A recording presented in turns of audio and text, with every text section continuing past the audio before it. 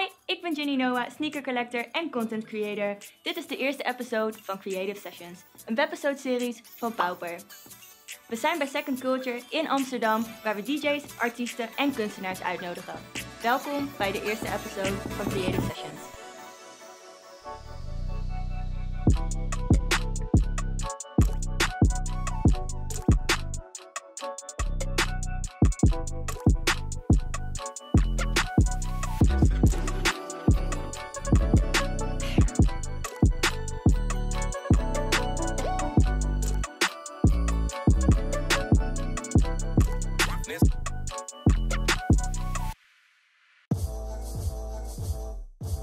Vandaag met Josimar Gomez, opkomend talent uit mijn eigen hometown Rotterdam. Hij maakt deel uit van het collectief Purple Planet en hij is ook wel bekend als resident MC bij The Couch. Josimar is een zeer veelzijdige muzikale artiest en model die vleugjes jazz, funk en soul in zijn muziek verwerkt. Hij begon op zijn 16e met het schrijven van teksten op pen en papier. Zijn invloeden komen uit het tijdperk waarin artiesten als Mos Def, Slum Village en The Roots de gouden standaard waren. Hi, Hi. welkom. Leuk dat je er bent. Eh, hoe gaat het met je? Ah, het gaat goed.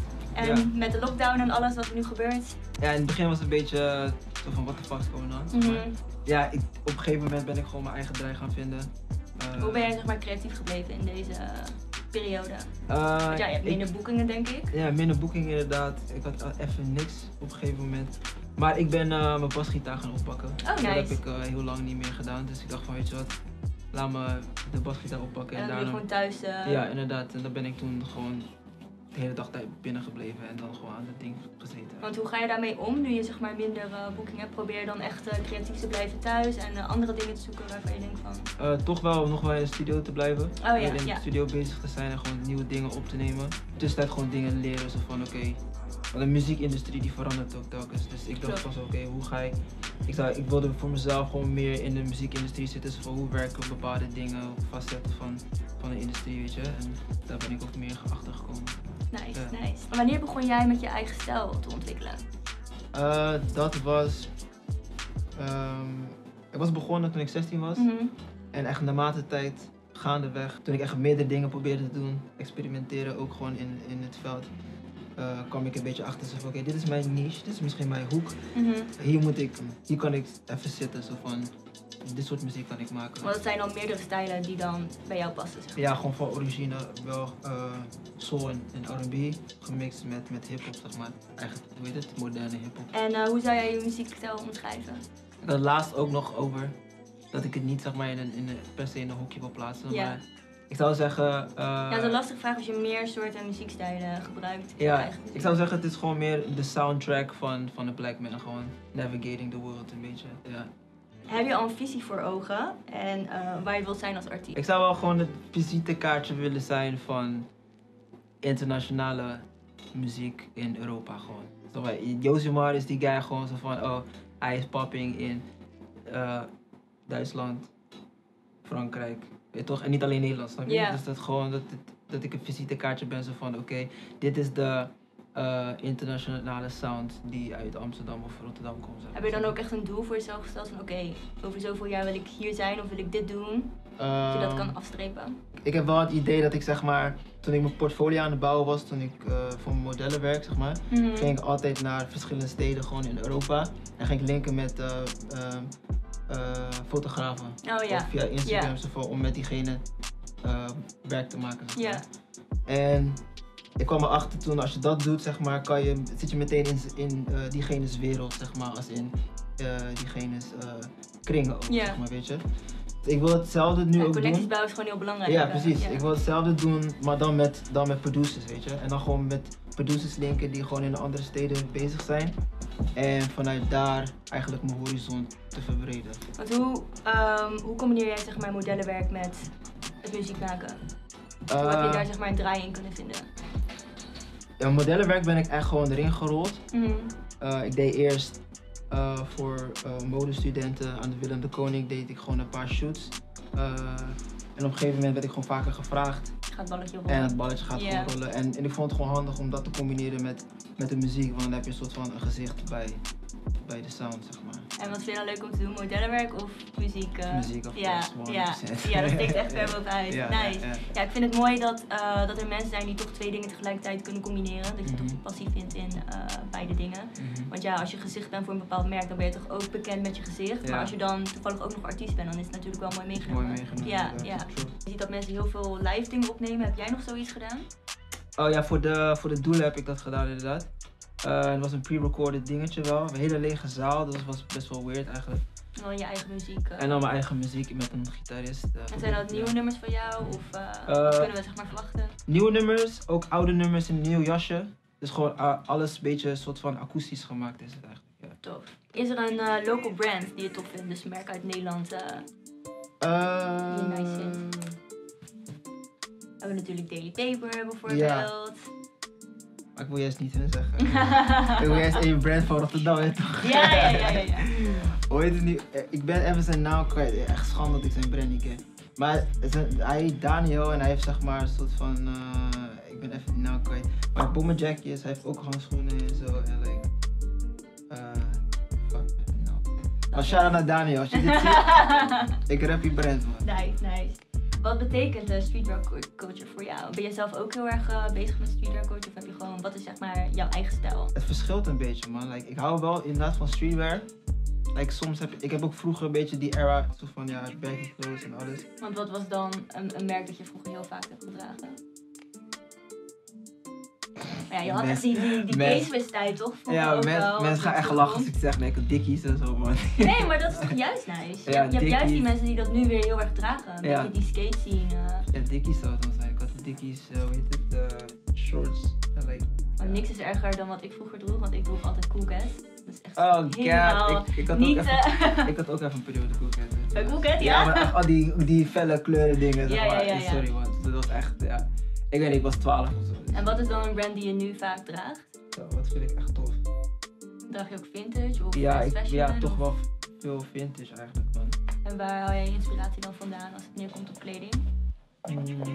Is er een bepaalde artiest of zo waar je echt Ja. Tyler man. Qua kleding, ja. qua Ty- Tyler Ja. is gewoon crazy. Ja, dan, Dat- dan is het wel makkelijk, dan valt het kwartje wel. Want hij heeft Ja. ook wel echt zijn eigen stijl. Mhm. Maar hij draagt ook bijvoorbeeld weer heel erg pakken. Ja, true. Like, wel, ik hou van zeg maar best wel half slick en half street. Beetje twee ja, elkaar. dat een beetje. Ja. Ja. Hoe ervaar jij waardering van een andere generatie voor je werk? Ik vind het op zich wel heel erg hard. Ik heb het nooit echt nog gehad of zo. Helaas. Maar ik vind het wel tof als. Ik zou het wel heel erg tof vinden als bijvoorbeeld iemand die net, net is begonnen met muziek maken. Ja. En die zegt zo van ja, je hebt mij geïnspireerd om dit te doen. En dat zou echt. Misschien, dat is een van de, een van de tofste dingen om te Ja. horen, denk ik. Ja. Sneakers bepalen heel erg je outfit. Heb jij eh, favoriete sneakers die je vaak draagt of eh, die je echt Ehm, nice ik, vindt? heb, ik heb laatst een paar Palladiums gekregen. Oh, Shout out naar Palladium. Ehm, dat ik een paar, ja, ik heb een paar gekregen. Die, vond ik wel, die vind ik wel tof. en echt Ehm, streetwear eh, sneakers, dus echt Nike sneakers. of Adidas. Of... ik, ja, Adidas vind ik wel heel erg tof, ja. Ik ben niet echt van de Nike's, man. Nee? Nee, man. Oh, ik ben echt een Nike persoon. Ja, ik ben, ik weet niet. Ik, 90% van mijn collectie is echt eh, Nike. ik ben niet echt Nike. Ik ben meer Adi, eh, Oh, dat vind ik grappig. Adidas. Adidas. Ja, dat hoor je tegenwoordig niet heel vaak aan, omdat Nike natuurlijk heel veel schoenen, True. nieuwe schoenen uitbrengt. Ja. Maar to be fair, ik ben nu echt, ik ben nu ook niet echt een super sneakerhead. Nee.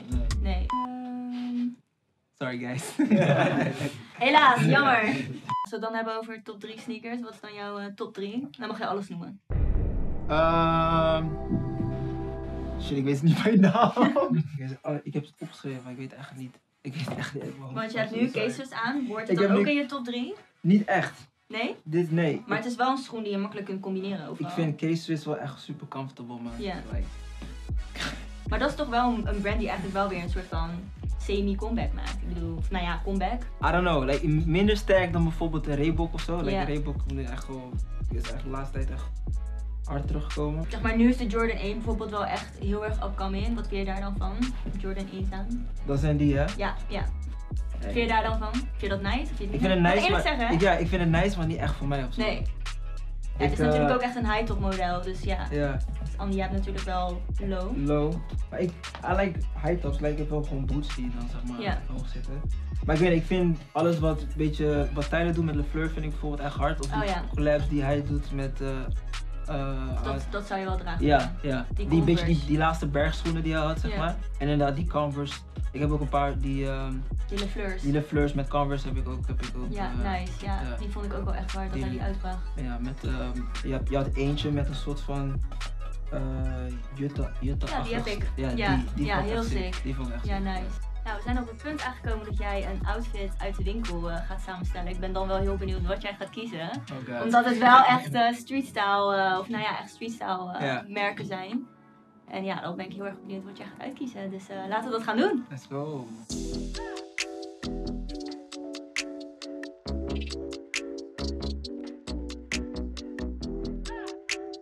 Iets zoeken wat eh, dicht bij jouw stijl ligt. Of misschien wel niet dicht bij jouw stijl ligt. Ik ben Mhm. heel benieuwd wat voor items eh, jou aanspreken. Mhm.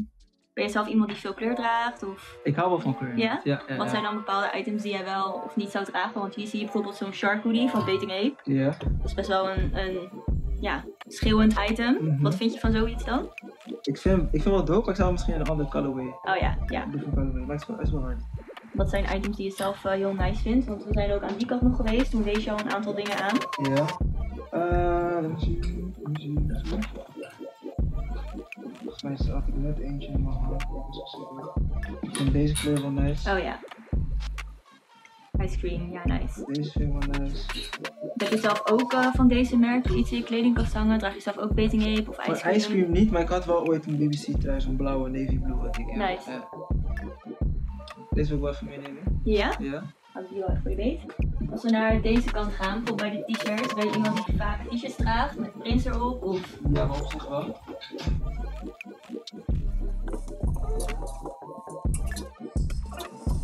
Tip. hier wees je al deze jacka. Ja. Vind je hier dan bijvoorbeeld nice aan? Want ja, Bating Ape is wel een merk dat eh, veel verschillende soorten prints heeft en Mhm. designs. Ik vind op zich, ik vind gewoon het model vind ik nice. Ja, En gewoon een kleine hint van. Ja. En ik vind het sick, Ja. gewoon dit logootje zo. Maar ik hou niet echt per se van echt schreeuwende logo's. Nee. Dus dit vind ik wel gewoon nice. een, eh, een rustige item met een Ja. soort van, eh, ja, Ja. ja, Nog even een shirt kunnen we hier misschien onderaan doen. ja. Want jij wees dit shirt aan, is dan een shirt van Pata. Ja. Met de vlag van Indonesië. Hey. represent, represent. En ben je dan een persoon die ook vaak eh, donkere, nou ja, bru- bruin draagt bijvoorbeeld? Of ik Ehm, zie best- donkerblauw. Ja, best Zijn wel soms. eh, matchy, matchy. matchy, ja. En soms draag ik wel donkere kleuren. Ja? Groen ook, ook groen. Bruin vind ik ook wel nice. ja, we zoeken nog een t-shirt, dus eh, Even kijken. even kijken. Ja, of je kan, ja, dit is misschien wel iets te veel. Ja, als je dat een, is- ja, ehm, ja, dan had hij eigenlijk meer echt moeten zijn. Waar zijn nog meer shirts, weet je dat? Ja, daar hebben we natuurlijk nog, ja, dat zijn de enige shirts die volgens mij zijn. We gaan het gewoon daar, we gaan Ja, daar we gaan het gewoon proberen. Oh, wacht even hoor. Baby. Baby Milo. Baby Milo. Of nee, nee, nee, kijk, daar weer. Dit is het. Oh ja, ja, Ja, want anders is dit ook zoiets. Oh ja, heeft Oh. glitter. En dan gewoon deze erbij, kijk. Woe! Ja, Ja. man, we hebben hem. We hebben Ja. hem. Green camo met green camo. Mhm, En dan met, ja, toch. Ja, ja, dan zou ik deze terug doen. En die Look, was ook, was ook wel echt nice bij je pantalon. Zal ik deze broek erbij aanhouden? Ja, ja. Dit is in eh, collaboration met Off-White. Dit is een hele populaire schoen. En ja, je ziet dat toch wel veel mensen van onze generatie dan voor zo'n schoen gaan.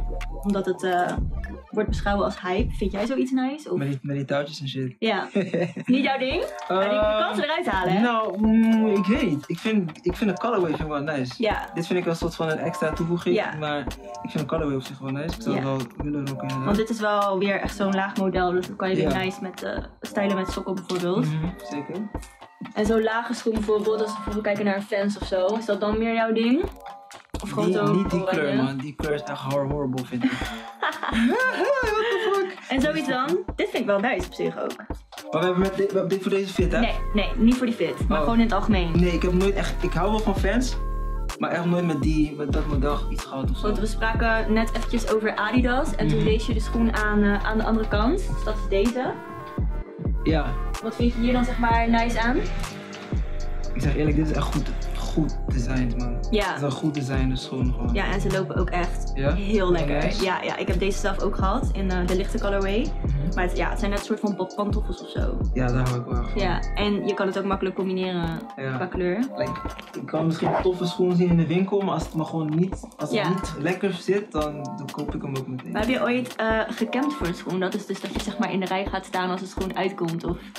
Nee, nee, nee, nee, ja. ja zo sneakerfreak eh, ben je dan, ben je dan Nee. ook weer niet. Nee, ja, ik moet zeggen dat ik dat zelf ook niet echt heb gedaan. Maar ja, je ziet natuurlijk wel eens mensen voor de foodlocker of zo, eh, dat Ja, ze echt eh, ja. gaan kamperen, gewoon nachtlang. tevoren. Ja, Maar dat is niet jouw ding. Nee, niet per se. Like, ik zou het wel, ik weet niet, ik zou het wel één keer willen doen voor, voor de ervaring of zo. Maar het is niet dat ik echt een avid, avid, eh En is er een schoen die je zelf ook graag zou willen hebben? Die misschien recent is uitgekomen of zo? Want we hadden het net ook even over de schoen daarboven. van Travis, Van ja. Scott. Is het dan, zou jij zo'n schoen dan kopen? Of zou je dat nice vinden? Of... Eh, deze niet echt. Nee? Maar wel de, de nieuwe, de Air Force, Ja. de, de nieuwe Air Force Ones. Ja, en Ja, daar beneden in de vitrine is ook nog een eh, Ja, die, die, vind, nice die vind ik ook heel sick. Ja. Danks. Oké, oké. Nou, dan moet je eigenlijk nog een, eh, een schoen kiezen die bij jouw outfit past. Ja. Zullen we gewoon deze doen? ja, zullen we die gewoon doen? Ja, dat is wel nice. Past wel erbij. Ja, het is wel Lekker een beetje die hype stilo, maar toch wel dicht bij jou, zeg maar.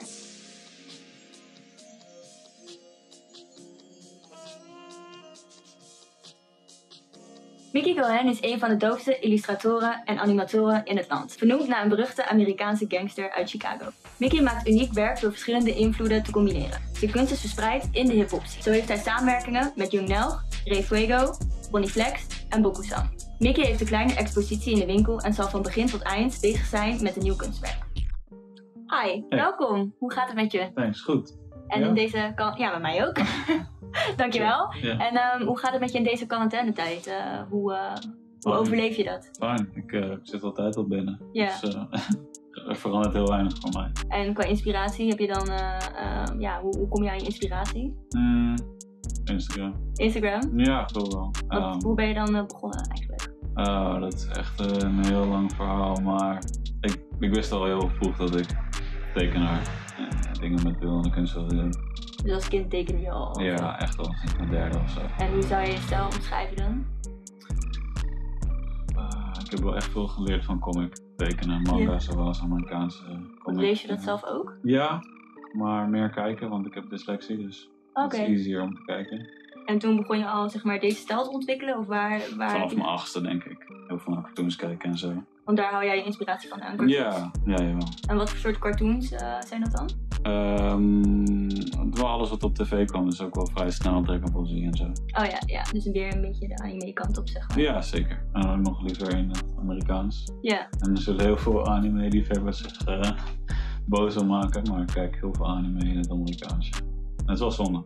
ja. Anime Ik kijk anime in het Japans. is nou, veel beter. Ja, is veel beter. ja. Ik probeer het wel. Ik moet gewoon slimmer worden terwijl ik anime in het Japans kijk. Maar ik heb ook het idee dat het dan een soort van beter klinkt of zo. Zelfs als je bijvoorbeeld Zeker. The Lion King in het Nederlands Het- zou kijken. Dan Dan klopt het. Nee, ja. Klopt. En zijn er bepaalde thema's waar jij je aan houdt, zeg maar, in jouw werk of in jouw stijl? Er zit altijd surrealisme en absurdisme in. En dit is het, maar het is niet wat het lijkt.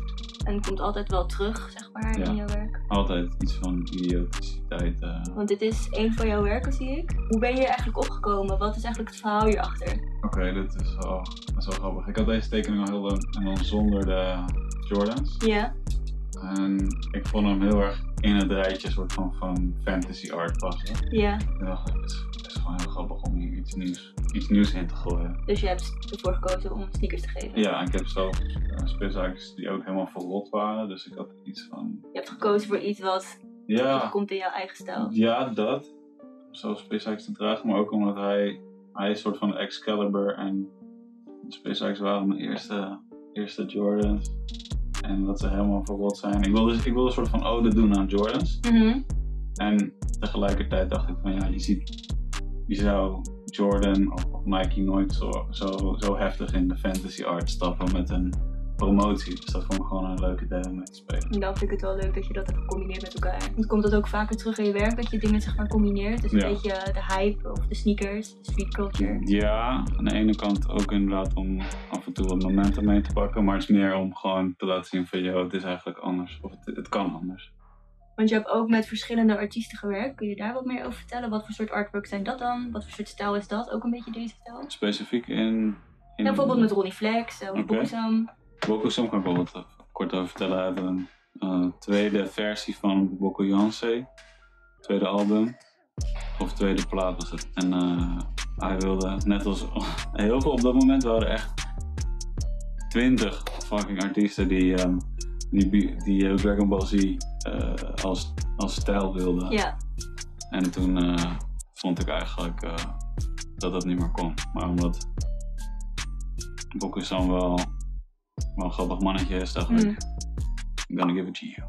past wel bij zijn stijl, zeg maar. Ja, ik vond het ook wel een leuk idee. Het is allemaal roze en, en blauw en, en weird. En, En wat is dan de leukste opdracht die je hebt gehad van een, van een artiest bijvoorbeeld? Je favoriet? ja, het meest ambitieuze opdracht was voor, voor Young Nel. Oké, Daar een, eh, een eh, Akira tribute naar maken met, een, eh, ja, met, een, met hem dan als de hoofdrol. Ja, het is wel een dream come true eigenlijk. ja. Wat, Dus, eh, eh, wat zijn nog dingen waar jij zeg maar naar uitkijkt? Of heb je nog doelen voor jezelf gesteld? Of dingen die er aankomen, wat kunnen we van jou verwachten? Yes, ehm, eh, dus na die Young Nel, eh, dat was eigenlijk een soort van eerste keer checken hoe een, hoe een short film zou gaan, ook al is het een clip. Oh, oké. Maar het is zo'n lang proces geweest, dus dat om opnieuw doen en dan wel echt serieus om het als een short, short story. Heel veel tekenen toch ook? Ja, ja. ja. Dus, eh, dus echt een, een volle short story. Dat wil je nog doen. Ja, short animatic maken. Hoe ervaar jij de waardering van een andere generatie van je werk? Dat is een eh, moeilijke vraag. Want je hebt mensen natuurlijk jonger die jonger dan jou zijn, die misschien ook wel eh Ja. willen worden. Ja, ja ik, heb, ik krijg inderdaad via, via weer wel eens een, iemand die, die vraagt van hoe heb je dat gedaan? Of vind je stuff heel in, inspirational?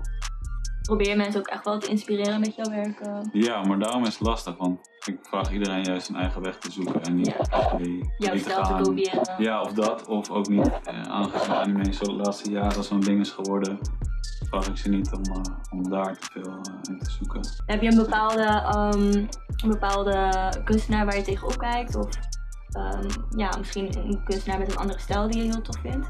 Mm, Ik vind bijvoorbeeld Kals heel nice. Kaas is super dope, zeker weten.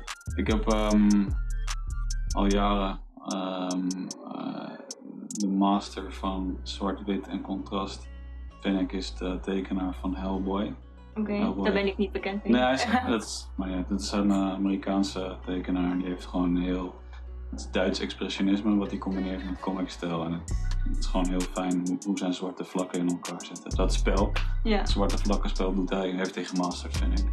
En eh, dat heb ik al jarenlang als een grote inspiratie. Maar gebruik je dan ook veel zwart-wit of echt gewoon alleen kleur?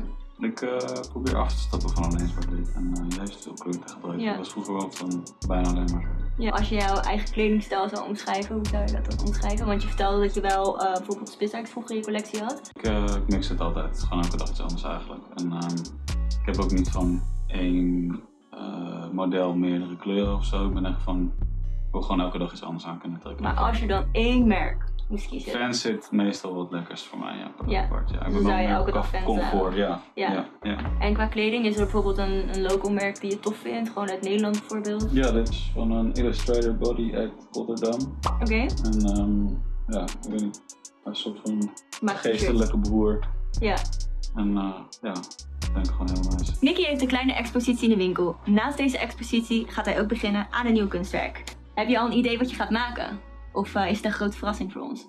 Ik denk dat het een grote verrassing blijft. Oké, nou, ik ben heel erg benieuwd. Succes!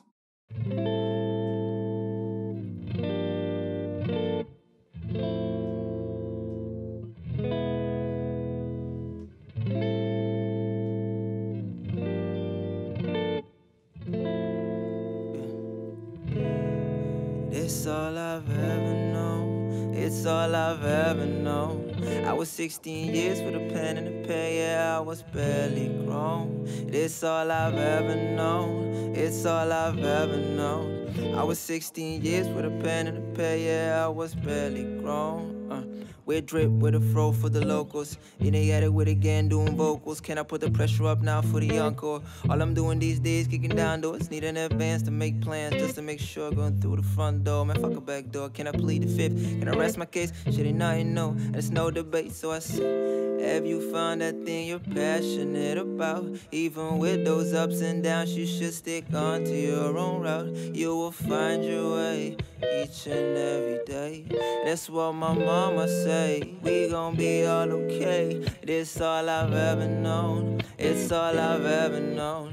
I was 16 years with a pen and a pad, yeah, I was barely grown. This all I've ever known. This all I've ever known. I was 16 years with a pen and a pad, yeah, I was barely grown. Yeah. Most of my people don't got a clue. They be standing at the roundabout like, what I gotta do?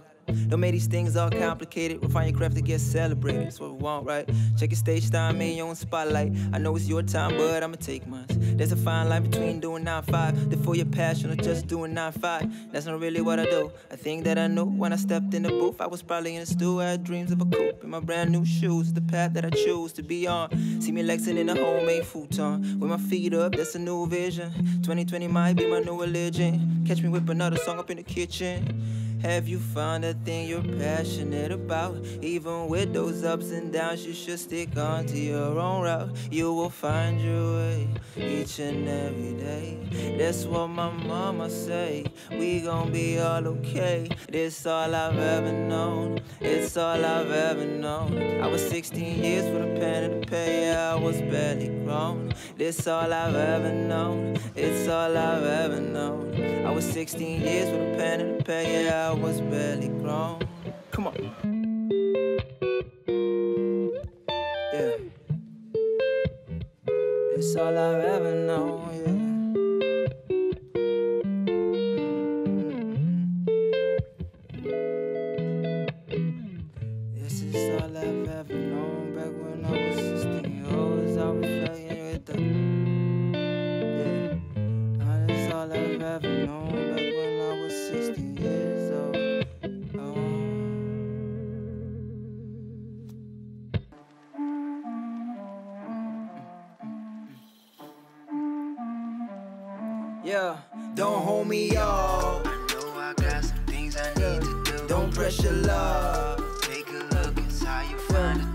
Not on your regular tip. She ain't no regular bitch. Don't make me switch on you quick. Don't get too soft. Don't hold me up. I know I got some things I need to do. Don't pressure love. Take a look inside, you find the truth. Not on your regular tip. She ain't no regular bitch. Don't make me switch on you quick. Don't get too soft. I know there ain't much where I come from. I know the same song gets me undone. Only have myself a perspective. I'ma hold a grudge from I'm on. I'm not with the bullshit. She might pull the gun quick. Come through at the function. Beat you up in zone six. Yeah, that's me. I'm a minute mate. My car maxed out, see me in the shades. I take a few shots, feel it in my brain. She dressed up now for the dinner date. There's too much sauce, am I dressed apart? Too much gas, now I'm in the car. You bless your own luck, you don't wanna walk. I see you messed up all from the start. Don't hold me off. I got some things I need to do. Don't pressure love. Take a look inside, you find the truth. Not on your regular tip. She ain't no regular bitch. Don't make me switch on you quick. Don't get too soft. I had to brush myself off, yeah, my growth was not that big. I was trying to get it perfect, realize that that ain't real. Now my output is much greater. See me fall and get back up. You can save it all for later, or you stop pressing your luck. What's your motive? It's so coded. You should share more of your stuff. What's you smoking? Is that potent? Barely enough for me to puff. Watch me get high. What? Don't hold me up. Here we go. Hey, yeah, don't hold me off. I know I got some things I need to do. Don't pressure love. Not on your regular tip. She ain't no regular bitch. Don't make me switch on you quick. Don't get too soft. Don't hold me off. I know I got some things I need to do. Don't pressure love.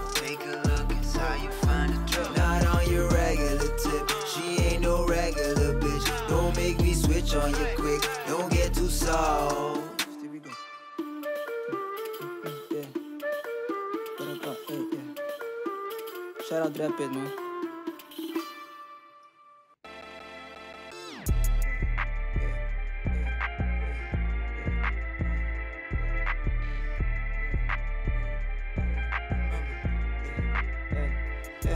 remember days up in the west. I was down, I was a mess. Chipping way up my own block. I admit that I was rushed. Overworked, I needed rest. Think I had too much in place. Ain't no way I'm going down. I got too much shit at stake now. Give me this,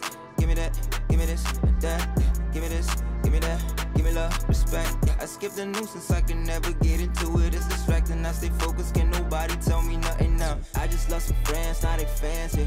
I guess they trusted me was never in their plans here. But baby, I just took a dive, took a chance here. Now I'm meeting calamari out in France here. I bet that love for me is now in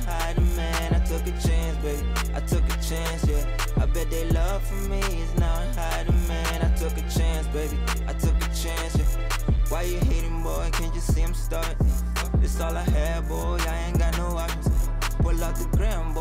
All I see is flaunting.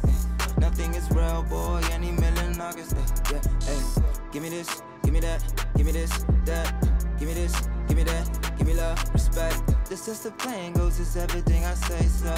No more lane homes, I got the girl I aim for. I just lost some friends, not they fans here. I guess they trusted me was never in their plans here. But baby, I just took a dive, took a chance here.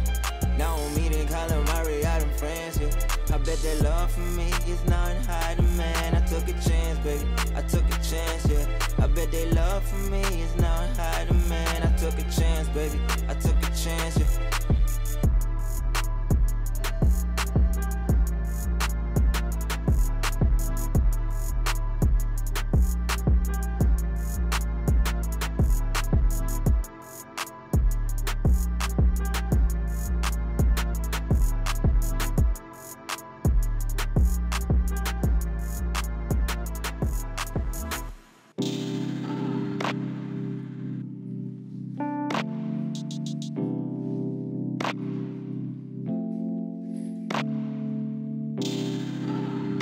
Shout out Pauper. Shout out Amsterdam. Yeah. I really felt like the time stopped when I met you. Our eyes locked and freezed up like a fucking statue. Was in the middle of my way to get some fast food. I think I set the tone for us. Yeah. Both too busy, no time left to get acquainted. Plus the lovers that we've been with left us both tainted. We're going back and forward, make sure we're compatible. You're my That's all I brought, I gotta know to get the picture. Can I really spend some time now with you? I just know that faith doesn't come in complex scriptures. It's quite simple, quite literal in the common sense.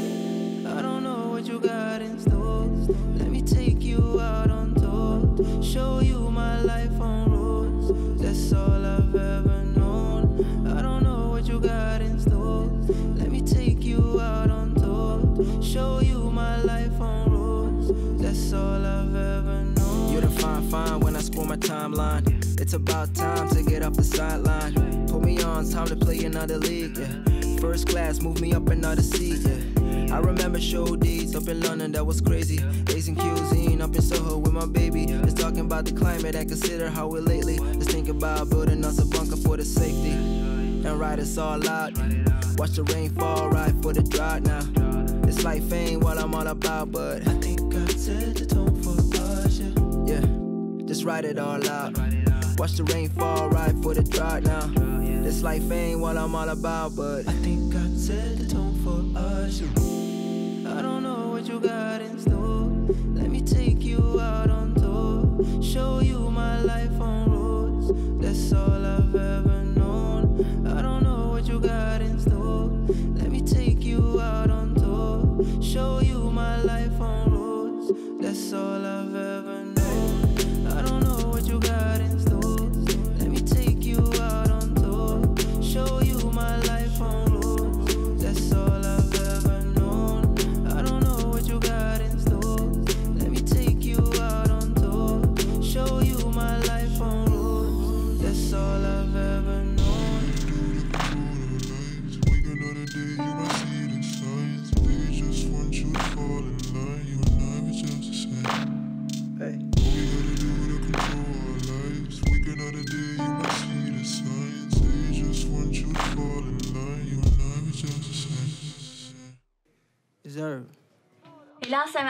gekomen van de eerste aflevering van Creative Sessions.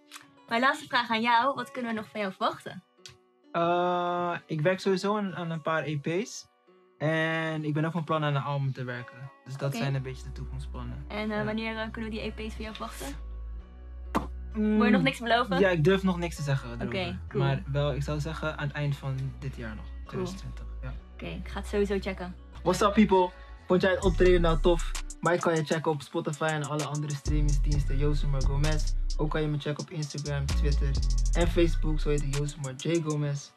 En ik wil Second Culture natuurlijk bedanken voor deze gelegenheid. En uh, see you soon. Thanks. Welke artiesten wil jij nog voorbij zien komen? Laat het even beneden weten in de comments. En misschien zie je diegene de volgende keer wel bij de Creative Sessions. Bedankt voor het kijken en tot volgende week. See you later. Peace.